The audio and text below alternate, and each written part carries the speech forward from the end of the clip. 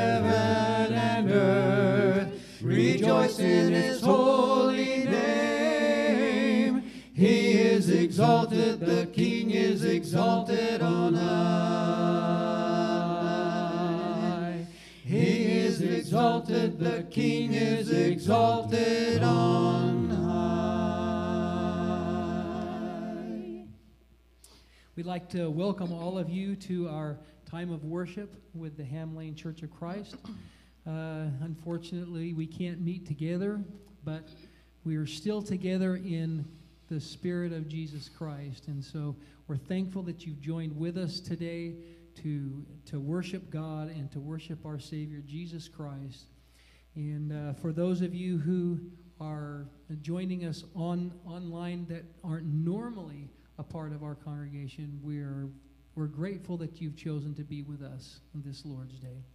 I want to remind all of you uh, members of the Ham Lane Church that uh, we have encouragement cards. And if you don't have any, you can come down here to the church and, and pick some up and uh, fill those out and mail them off to the people who um, are going to really, really be thankful that they got it. And they will be very encouraged. So remember to do that. Also, we have communion supplies that are available here at the, the church. If, um, if you want to come by the, the building on Tuesday and Wednesday before Thanksgiving, Kit will be here and she will uh, be able to provide you with that. And uh, so don't go without if you have that opportunity to come pick some up.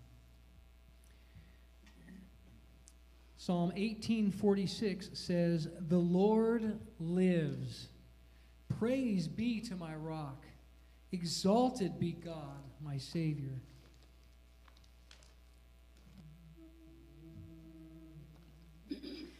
Wonderful, merciful Savior, precious Redeemer and friend, who would have thought that a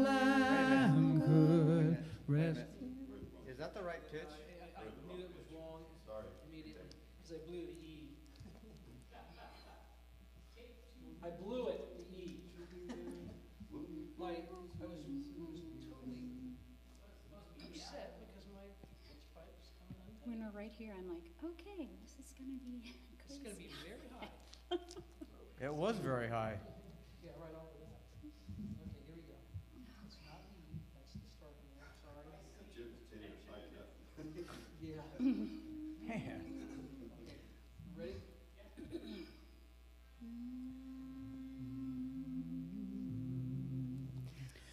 Wonderful, merciful Savior, precious Redeemer and friend, who would have thought that a lamb could rescue the souls of men? Oh, you rescue the souls of men. Counselor, comforter, keeper, Spirit we long to embrace.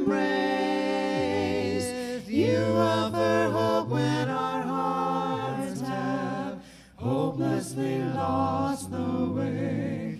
Oh, we've hopelessly lost the way. You are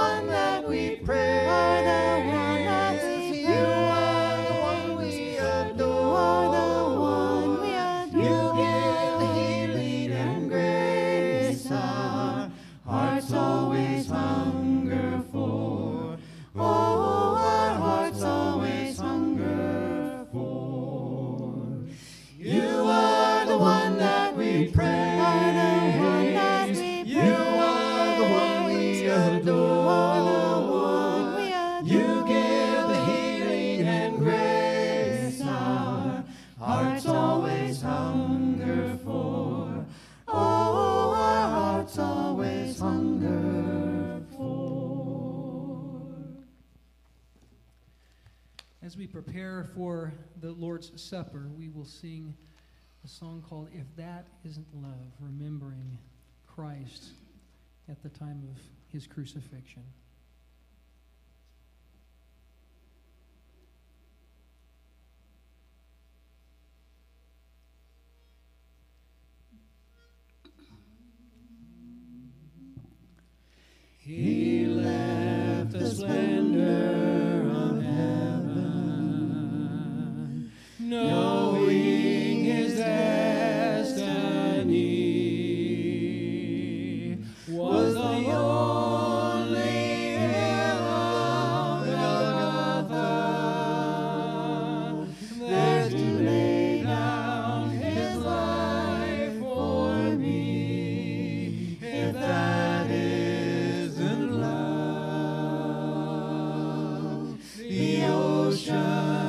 Is dry.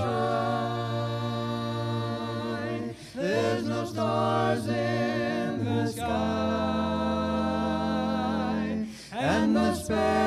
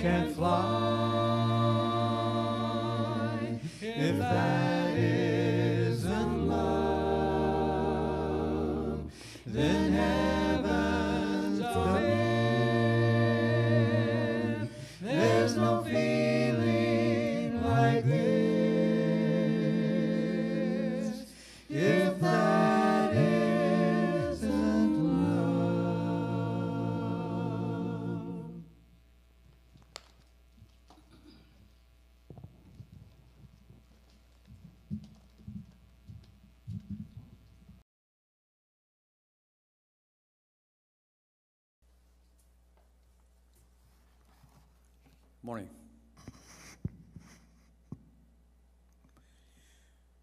In this time of social distancing, the six feet rule, wear a mask in public rule, with all these things designed to keep us separated, it's easy to lose sight of community, isn't it?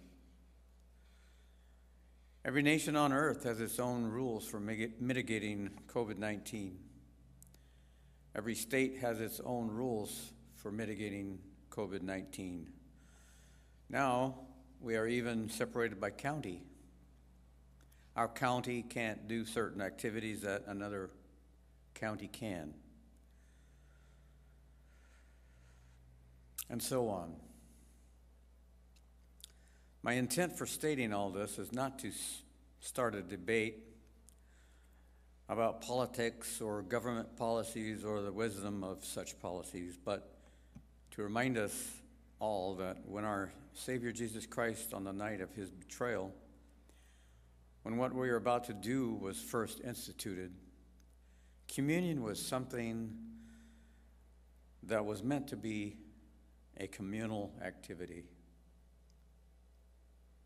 Paul tells us in 1 Corinthians, the 11th chapter, starting with verses, verse 23, that the Lord Jesus, on the night he was betrayed, took bread, and when he had given thanks, he broke it and said, This is my body, which is for you. Do this in remembrance of me. In the same way, after supper, he took the cup, saying, This cup is the new covenant in my blood. Do this whenever you drink it and in remembrance of me. Then Paul adds in verse 26 For whenever you eat this bread and drink this cup, you proclaim the Lord's death until he comes. There are so many things that separate and divide us, some of them good and some of them bad. With, it, with the good divisions, we should praise God.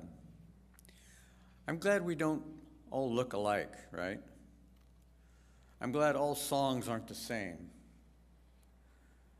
I'm glad that there are some parts of the landscape that are desert and some that are filled with glorious trees. I'm glad that winter is different than summer and fall is different than spring. I'm glad that Mexican food doesn't taste like Japanese food or Thai food like Italian. But when it comes to communion, there is no room for division. And I hope the separation we are now being called to observe only serves to diminish our differences and magnify our oneness. There are things that still divide us, such as distance, such as national boundaries, such as what we determine to be truth and what we determine to be fiction, or what we consider to be the best, whatever shampoo, food, sports ball team, you name it. But I pray that when we partake of this bread and this cup, which we are doing to proclaim Christ's death, let's not separate ourselves mentally or spiritually. When we participate in communion, in remembering Christ's death and proclaiming his death, do I or do we want to say that because this person or this family or this group over here thinks this way or that, that they can't be part of this process? I sincerely hope not. Andrew McGowan, an Australian scholar of early Christianity, writes The body eaten is focused communally rather than individually, finding the Savior's presence in the corporate consum- consumption rather than in the elements taken in isolation. Edward Welch, another noted Christian author, writes We should remember that it is through Christ's death that we are reconciled to God and each other. He has made us one, and we set our hearts on pursuing unity and love. The Lord's Supper is a great time to pray and plan for oneness with our brothers and sisters. It is a time to explore new ways to be kind, compassionate, and forgiving. Another Christian writer by the name of Luke, you may have heard of him, writes in Acts chapter 2, verses 42 through 47. They devoted themselves to the apostles' teaching and to fellowship, to the breaking of bread and to prayer. Everyone was filled with awe at the many wonders and signs performed by the apostles. All the believers were together and had everything in common. They sold property and possessions to give to anyone who had need. Every day they continued to meet together in the temple courts. They broke bread in their homes and ate together with gladness and sincere hearts, praising God and enjoying the favor of all the people. And the Lord added to their number daily those who were being saved. Luke also writes in Acts chapter 20, verse 7 On the first day of the week, we came together to break bread. Paul spoke to the people, and because he intended to leave the next day, kept on talking until midnight. Still another Christian writer that has written a lot of stuff by the name of Paul writes in one of his many letters, this one in his letter in his first letter to the church in Corinth, chapter 11, verses 33 and 34. So then, my brothers and sisters, when you gather to eat, you should all eat together. Anyone who is hungry should eat something at home, so that when you meet together, it may not result in judgment. This writer by the name of Paul has a lot more to say about the Lord's Supper that I don't have time to talk about right now. But one thing more that he writes earlier in the same chapter, chapter 11, verses 17 through 19, that really jumps off the page to me. Paul writes, In the following directives, I have no praise for you, for your meetings do more harm than good. In the first place, I hear that when you come together as a church, there are divisions among you, and to some extent, I believe it. No doubt there have to be differences among you to show which of you have God's approval. I don't know about you, but that really makes me think. As we partake of the Lord's Supper this morning, there is no room for differences, much less perceived differences, no room for divisions. As we eat this bread and drink this cup this morning, my hope is that we will all be as inclusive in our minds as possible and think about the fact that there are many people on this planet that will be proclaiming the Lord's death this morning, not just here in Lodi, but elsewhere as well. Let's pray. Father, we thank you for this, uh, these emblems, which to us represent your Son's body and his blood that was sacrificed on the tree for us, so that we would have a hope of everlasting life with you. As we partake of these emblems this morning, Father, we pray that we will be inclusive and that we will think of all of the people in this world that are participating in the same acts this morning. Thank you for Jesus and thank you for the blood that he shed on the cross for us. In Jesus' name we pray. Amen.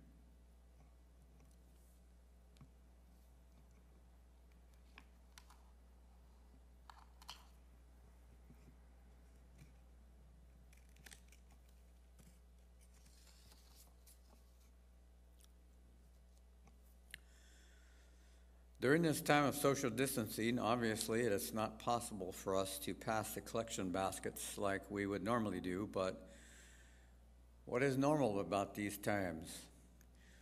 You should have an address on your screen where you can send your contribution, or you can call the building to see if someone is here and arrange to drop off your offering. But I'd like to just read some words of wisdom and encouragement to you this morning. First is from the Old Testament, book of Deuteronomy, chapter 8, verses 17 and 18. You may say to yourself, My power and the strength of my hands have produced this wealth for me. But remember the Lord your God, for it is He who gives you the ability to produce wealth, and so confirms His covenant, which He swore to your ancestors as it is today. It's easy in the current economic and social climate to be concerned about your current financial situation. But the writer of Hebrews reminds us in chapter 13, verses 5 and 6 Keep your lives free from the love of money and be content with what you have, because God said, Never will I leave you, never will I forsake you. So we say with confidence, The Lord is my helper. I will not be afraid. What can mere mortals do to me? And finally, something from 2 Corinthians chapter 9, verses 6 through 8. Remember this whoever sows sparingly will also reap sparingly, and whoever sows generously will also reap generously. Each of you should give what you have decided in your heart to give, not reluctantly or under compulsion, for God loves a cheerful giver. And God is able to bless you abundantly, so that in all things, at all times, having all you need, you will abound in every good work. So, with these things in mind, let's pray for our offering this week. Father, thank you for this opportunity to lay by and store, as we call it. Uh, we thank you, Father, for all your, the blessings that you've blessed us with. Thank you for so many things that we can't, uh, we can't name them.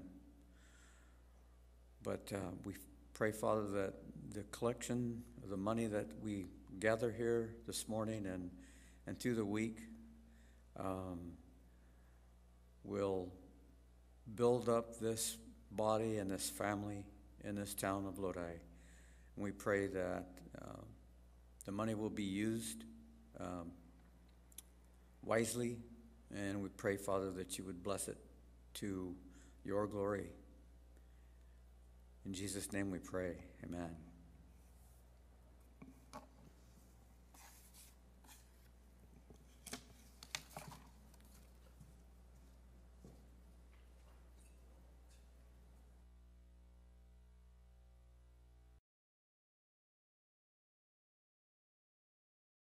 Good morning, everyone.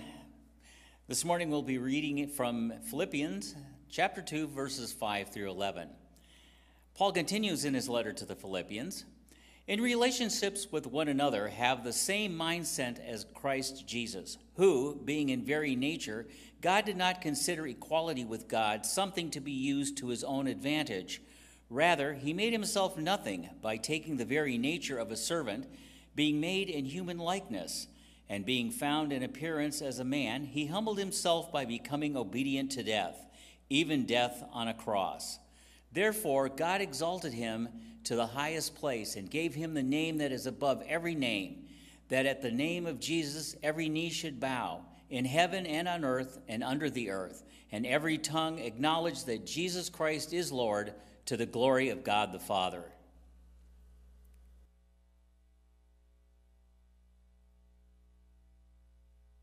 Good morning, church family. I have the privilege and the opportunity this morning to share with you during our time of intercessory prayer, our, our pastor's prayer time. And uh, especially now that we are once again, hopefully for a very short period and season, separated from one another, N- not isolated from each other because we have this opportunity to be together online for our Zoom studies that will kick back up again this Wednesday. But during this time, I really want to encourage you to keep us as your church family, to, to let me, to let uh, Kit in the office, to let our elders know of anything that our prayer needs and concerns in your, in your, in your own life and in what's going on, because we really want to keep up with that. We believe in the power of prayer, and we want to pray with you. We want to pray for you. You should have got uh, your bulletin online this uh, for this week, emailed to you, and this does have some things that we're just going to uh, pray over this morning. So, if you would, let's uh, let's spend just a few moments and go to our great God on behalf of others and pray together. Heavenly Father, we are thankful for this opportunity that wherever we are, no matter what day or what time we might be watching this service, that we can spend time in prayer to you, knowing that you hear, and most importantly, that you answer, and even greater than that, that you answer our prayers in the ways that you know are best. Lord, there are a lot of people on our list, and we just want to lift those things up to you. As I glance over this, there are people here that I know the specific need and there are others that it seems more broad, or I may not know personally what the needs are, but you know. You know our greatest needs. You know where you need to intervene, and you know where people need to sense and feel your presence and your power in their life the most. So, Lord, I pray for that today. I pray for anyone hearing this prayer this morning that they would experience your presence, that they would experience your power, and most importantly, during this season of just unrest and, and so much uncertainty, that they would experience your peace. I pray for that. Lord, I'm thankful for the missionaries that we support uh, throughout the world. And I am appreciative and so thankful for the generosity of this church family as they continue to support not only the work that we're doing here locally, but with the people we support within our country and outside of our country. Lord, I just pray that we would be able to continue that good work and that you would bless all of their efforts. Lord, I ask that this time of worship that we have been doing with our praise team leading us in songs, with uh, sharing a time with the Lord's Supper together, even though we have to be separated for this time, the opportunities to hear you speak from your word. Lord, I just pray that all these things have been done in a way and in a manner that is pleasing and acceptable to you, that it has been done in spirit and in truth, and that when we get done with this time together today, that we would be able to say it was so good for us to worship you. Lord, all these things we pray today through the name of your Son and our precious Savior, Christ Jesus. And all who agree say, Amen.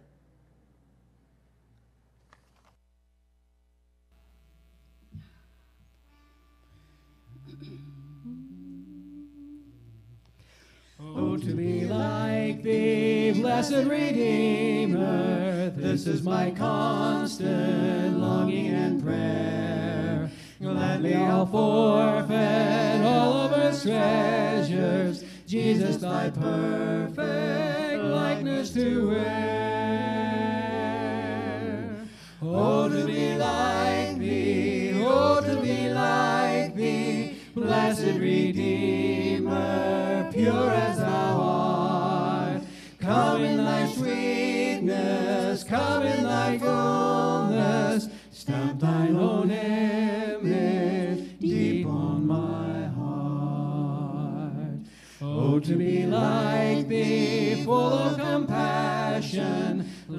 Forgiving, tender and kind, helping the helpless, cheering the fainting, seeking the wandering sinner to find.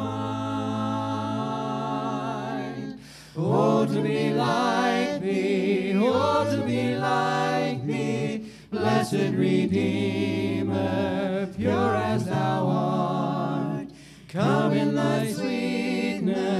come in thy fullness, stamp thine own image deep on my heart. Oh, to be like thee, lowly in spirit, holy and harmless, patient and brave, meekly enduring cruel reproaches, willing to suffer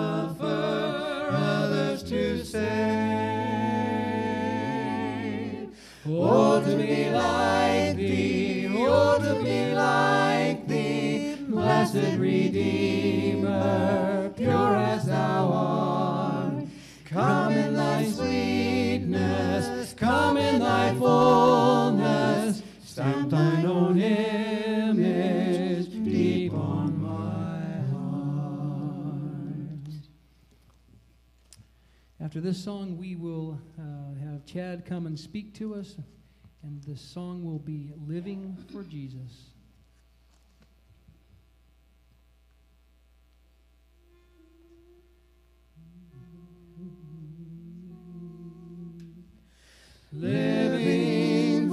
Jesus, a life that is true, striving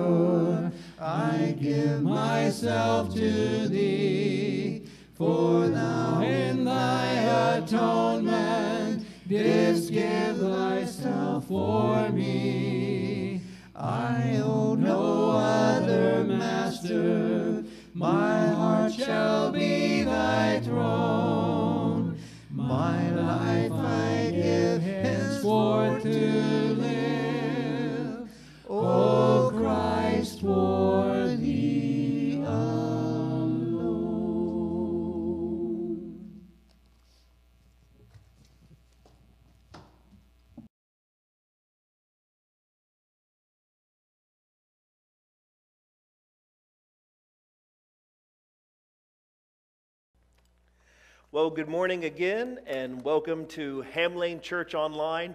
Hey, if you're watching today on Facebook or on YouTube, whether it's live with us now on Sunday morning or it's later through the week, take a moment to hit like, take a moment to share uh, this service with your friends, and let us know by commenting that you're watching, uh, where you're watching from. If there's anything that we can pray for, maybe you don't have the time to uh, spend this whole service together, and if not, that's okay. Just take a moment before you uh, sign off from here and let us know how we can pray for you. Also, for our members, uh, as I mentioned before, you should have your e bulletin that was emailed to you, is also located online. If you want to get that uh, ready, it has an outline with some blanks, some scriptures, and some things to help you follow along with our message today. I pray that every one of you had an awesome and a blessed Thanksgiving holiday together, at least as much as was possible to be together during this season of COVID. You know, I had always thought about preaching a sermon on gluttony the Sunday after Thanksgiving. But I've never done that because if I did, I would be the biggest hypocrite in the church.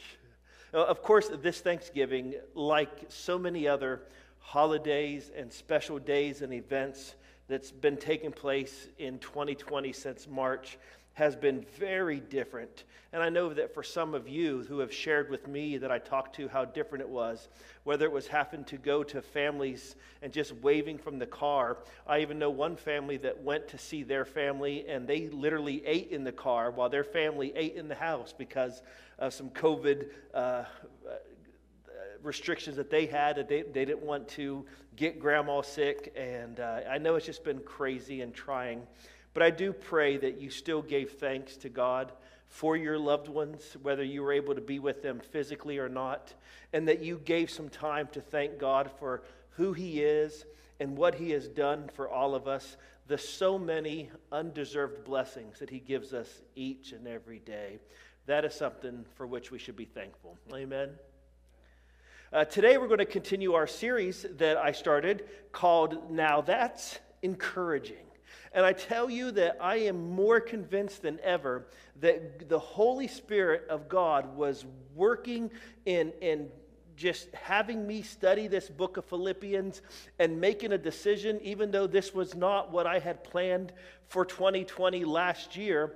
Uh, I have kind of been adjusting fire and, and, and just uh, praying for God to give me wisdom, what I could share. And, and as I started to write this series a few weeks or several months ago now, I, I assumed we were going to be together because you know we separated for a time then we were allowed to be back together and then we were told we had to only be outside so then we were outside for a bit. Then it started to get cold. We were like what are we going to do? Well then all of a sudden our code of color changed and we were allowed to come together again with the restrictions and with the, the minimum numbers in each room.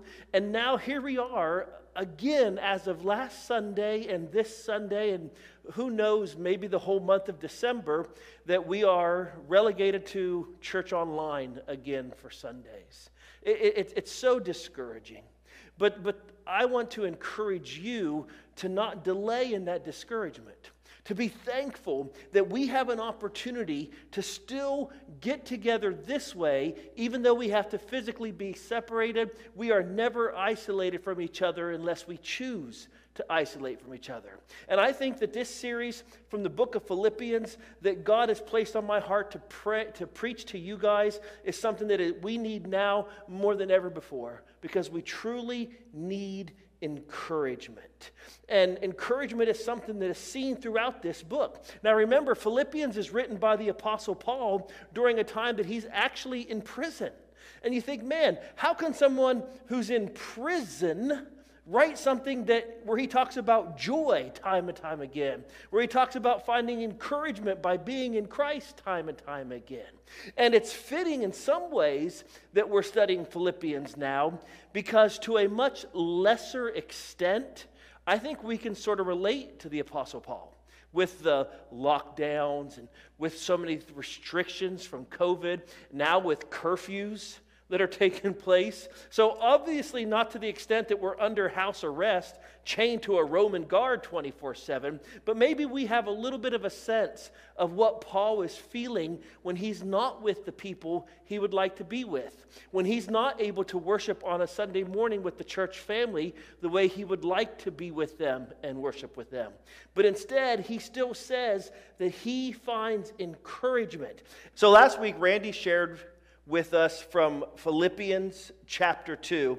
And I want you to listen to this first two verses. He says, If you have any encouragement from being united with Christ, if any comfort from his love, if any common sharing in the Spirit, if any tenderness and compassion, then make my joy complete by being like minded, having the same love, being one in spirit and one in mind. And Randy took some time explaining what that looks like and, and what that means. And I hope that we can be encouraged because we are in Christ. And even though things are different because of how different our world is now, our purpose, our mission, and our message remains the same. And that is something that we keep and that we have in common. And that is something that should make our joy complete as well. Now, today we're going to cover chapter 2 verses 5 through 11 that David read for us earlier. Now, today also happens to be the first Sunday of Advent. Advent is the season of the year that leads up to Christmas. On the church calendar, it's the four Sundays just before December 25th. So today is, is the first of those four. And with today being the first Sunday of Advent, I think this passage from Philippians chapter 2, we're going to look at these verses again that David read. This is a perfect Advent uh, uh, passage, a perfect Advent scripture right here. Because this talks about, this deals with the fact that Jesus did come, that he did become human and he humbled himself. He made himself a servant. But then it also talks about his exaltation and how his name is the greatest name that someday every knee will bow before. And it's a great way for us to kick off this season and continue our series in Philippians. So I want you to look, the first scripture on the top of your outline, it's here on the big screen as well. Philippians chapter 2, verse 5 says this Your attitude should be the same as that of Christ Jesus. Now, more than 100 years ago, back in 1869, a guy by the name of Charles Sheldon wrote a very popular book called In His Steps. And that book, in many ways, was inspired by this verse where Paul says, We, as Christ followers, should have the same attitude as Jesus Christ. And in Sheldon's classic book, what he wrote, again, so long ago, he helped us to ask the question what would Jesus do? And it's something that has just carried on for the ages. In fact, I can remember during my youth group days in the nine, late 80s, early 90s, when the WWJD, What Would Jesus Do bracelets, were so popular. Now, a little more contemporary of an author, Max Lucado, just a few years ago wrote another book that was sort of based on this passage that he called Just Like Jesus. And in Max's book, his premise, his idea is, is that God loves each and every one of us just the way we are. But he loves us so much that he absolutely refuses to leave us just the way we are. He wants us to be just like Jesus. But what does that mean? I mean, what does that actually look like to be just like Jesus? To do what Jesus would do, to act the way Jesus would act, to have the same attitude as that of Christ Jesus. Well, I want to show you a couple more translations of this same passage. So look at the next uh, translation of this passage. This is from the NRSV. It says, Let the same mind be in you that was in Christ Jesus. And then the NCV, the New Contemporary Version, says this In your lives, you must think and act like Christ Jesus. So, to have the attitude of Jesus is to have the same mind set as Jesus. And that means that the way I think and the way I act is going to be just like Jesus. That's what asking the question, what would Jesus do during times of COVID? What would Jesus do during this situation at my job? What would Jesus do if he was facing the trials and the, the stuff that I'm facing in my life? And when I think about thoughts and action, and you put those things together, that equals character. Because what I think and the way that I act adds up to who I really am, who my character is. So, this idea of having the same attitude, the same mindset to think and to act just like Jesus means that I am striving to have the character of Jesus in my life. But what does that really mean? So, what Paul does for us in this verse, he doesn't just say you should be like Jesus and then go on. Instead, in these next few verses, verses 6 through 11, he gives us this beautiful, poetic, almost lyrical uh, poem or song. Some Christian scholars think that Philippians 2 6 through 11 was actually a Christian hymn that the church would have sung during Paul's time, and that Paul kind of took that and he used those words to help us understand what it means to be just like Jesus what it looks like to have the attitude, the mindset to think and to act like Jesus does. So in this passage, he gives us six, uh, three things rather that I want to show you here on your outline. So if you have it, I want you to fill in these few blanks. Acting just like Jesus means number one, don't demand what I think I deserve. If I want to be just like Jesus, then I don't need to demand what I think I deserve. A lot of people have observed that in our modern time, in our culture today, we're living in a time of entitlement, right? Where people think that, hey, I, I am entitled to this. I, I deserve this. Therefore, if I don't get what I think I'm entitled to, or if I don't get what I think I deserve, then I'm going to start to demand that I should get what I think I deserve and what I am entitled to. And if I don't get, if I don't have my demands met, well, then I'm going to act out. I'm going to cry, I'm going to yell, I'm going to scream, I'm going to do whatever it takes because I'm going to demand my rights. But when you look at what Jesus did, when you realize that Jesus was the Son of God, that he was Emmanuel, that's what this Christmas season's all about. Emmanuel means God is with us. That he came from heaven to earth. He had a lot of things that he could have demanded that he absolutely deserved. But I want you to see what Paul says in this passage. Philippians 2, look at verses 6 and the beginning of verse 7.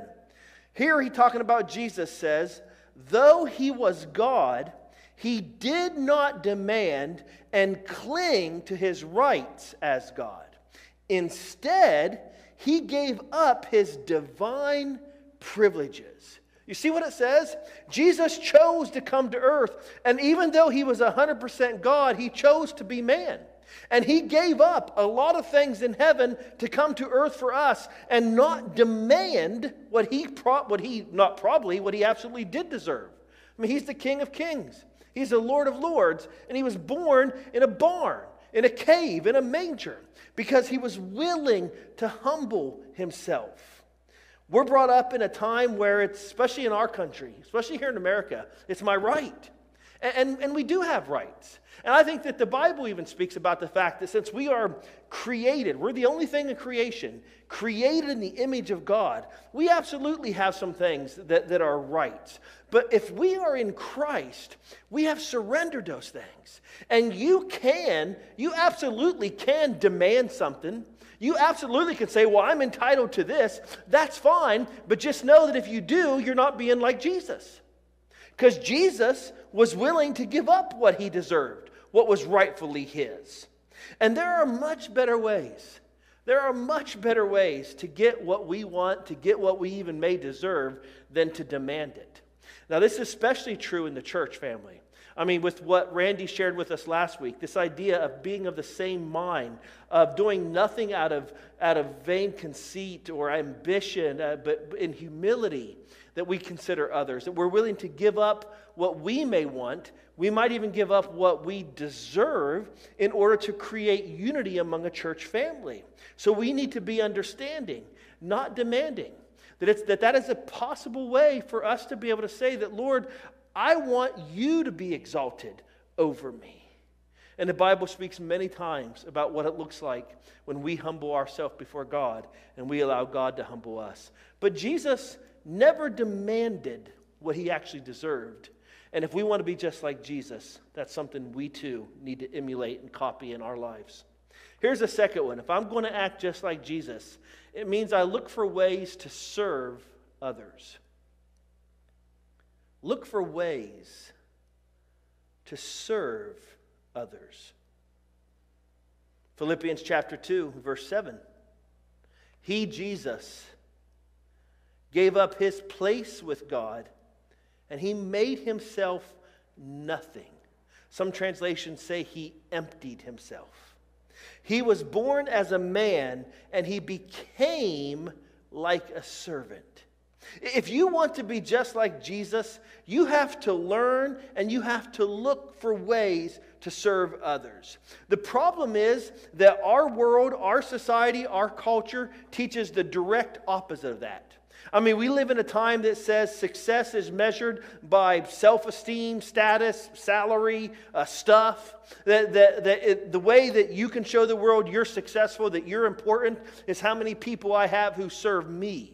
How many people are under me? How many people do what I tell them to do? But the Jesus way is that Jesus would go, and even though he was the King of Kings, he came down to earth, he emptied himself, he humbled himself, he gave up the privilege of heaven to come be man, to be God with us, and he would specifically look for ways to serve people. Because he would say, I didn't come to be served, I came to serve and to give my life a ransom for many. See, with God, the one who wants to be the greatest is the one who is the least. The one who wants to be first is the one who is willing to be last. Jesus came as a servant. And if we're going to be like him, we need to look for ways to serve others. And especially during this, this time of COVID and how we're separated, we're not doing things here at the building like we normally would do. That we're not having fellowship meals. We're, we don't have kids' ministries happening the way they used to. And we need to be very prayerful and even creative in ways that we can serve each other and that we can serve the church and that we can serve our community and that we can serve people around us. One of the best stories of humiliation I ever read was of a man who arrived back in 1953 at the Chicago Railroad Station. He was about to receive the Nobel Peace Prize. He stepped off the train. He was described as a tall man with, with brushy hair and a big mustache. And as the cameras flashed and the city officials came to uh, shake his hand and to congratulate him, he thanked them politely and shook their hands. But then he asked to be excused for a moment. The story tells that, that he walked through the crowd of all the people who had gathered to come see him, the, this, this Nobel Peace, Peace Prize winning man who had done so many accomplishments in his life. He parts through the crowd and he sees this elderly woman who had two large suitcases that she was struggling with. He went beside her and he asked if he could help her. He, he picked up her two suitcases. He escorted her to the train, helped her up onto the train, and he placed her suitcases up there with her. Then he comes back to the crowd that was there to see him and waited for him, and he apologized to them for stepping away like that. Uh, the man's name was Albert Schweitzer. Uh, there's a one of the reception committee people, one of the members, is recorded as saying to a reporter there, they said, That is the first time I ever saw a sermon walking. Man, I hope we are sermon walking. Amen.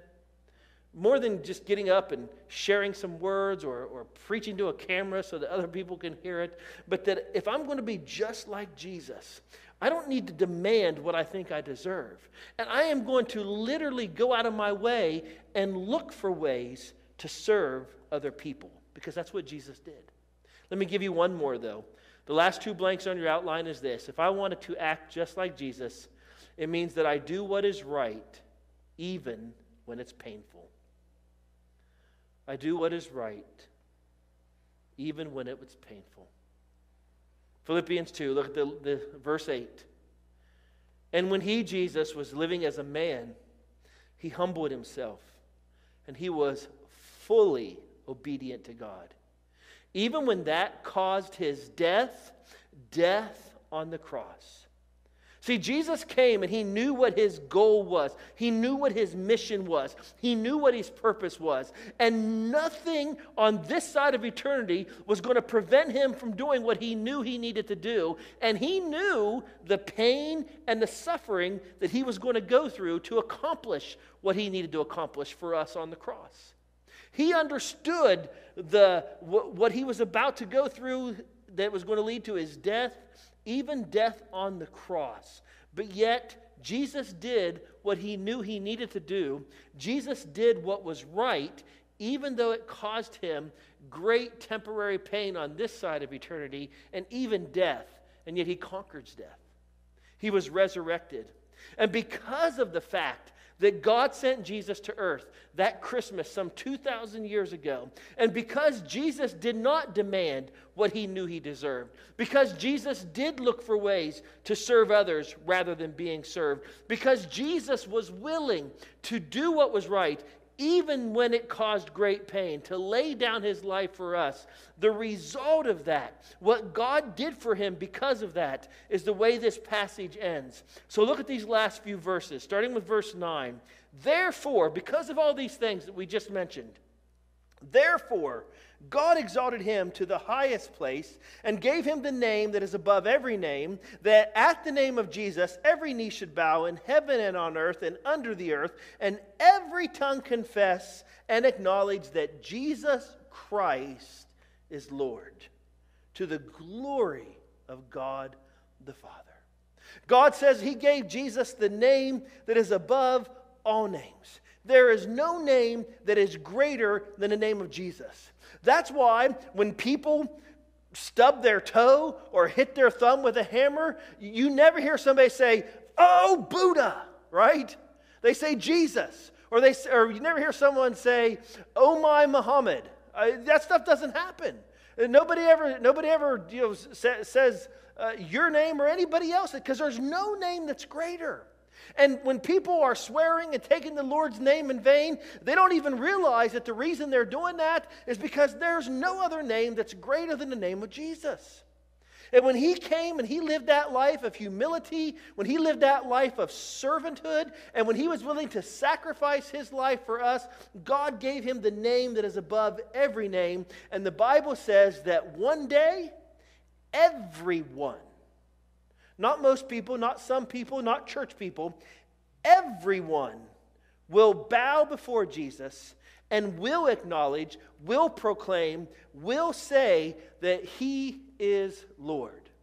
Someday, whoever our next president's going to be, Whether it's Joe Biden, whether it's Trump, or somehow it's going to be somebody else. Someday they're going to bow before Jesus and say, Jesus is Lord.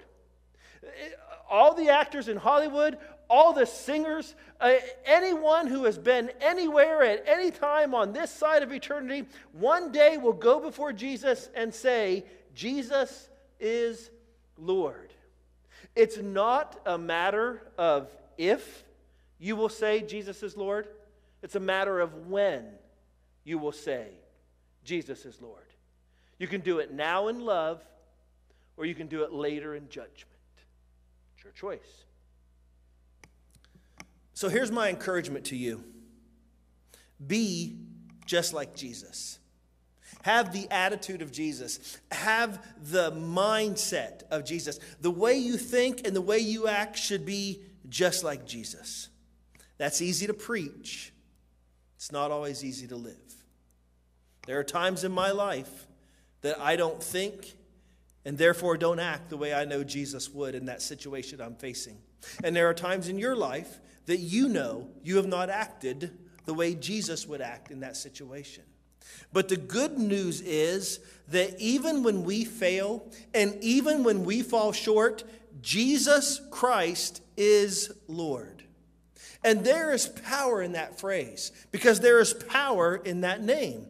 And when you're facing something that you feel like you can't overcome, you say, Jesus is Lord. When you're not sure how you're going to get through this problem at your job, when you're not sure if you're going to get a job, when, when we don't know what's going to happen with the church or our country or our city or anything else because of COVID, we can still and we should still and we better still say, Jesus is Lord. Because when we say that, we acknowledge that I'm not, and neither are you. There is a God I'm not him, you're not him. Jesus is Lord. That means he's the one who is in control no matter what. Now that's encouraging. Amen. That's encouraging. Let me pray for you. Lord, I ask a blessing now as we close this time together upon everyone who is hearing these words, that you would help us to have the attitude, the mindset, the thoughts, and the actions of Jesus. Lord, we know and we believe, and I pray that we live in a way that we understand that you love us no matter what, just like we are. But you love us so much that you don't want to leave us like we are. You want us to be just like Jesus. I want us to, in all areas, in all situations, in the church, at our jobs, in our marriage, and in every aspect of our life, help us to ask the question what would Jesus do? Lord, I pray that, especially during this time when the world is watching, that we who are believers, we who are Jesus followers, would, in the best way we know how, understand that we don't have to demand what we think we deserve, because we've been given so much already because of who and what you are in our life. That you would give us the eyes to look for ways to serve others around us and Lord, that we would always choose to do what is right and to follow you, even when it may be painful and hard for us to do. That's what Jesus did. That's what we want to do. It is His name that has been exalted above all names. And today, the best way that we know how, we do bow before you in spirit and we do proclaim that Jesus is Lord. In His name we pray and amen.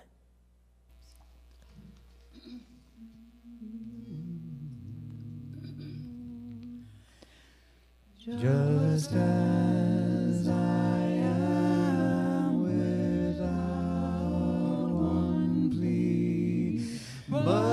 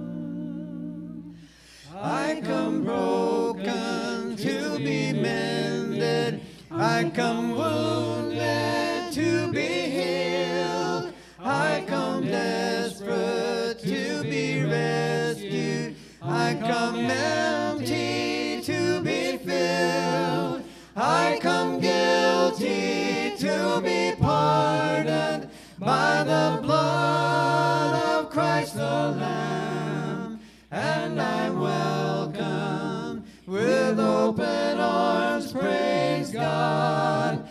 Just as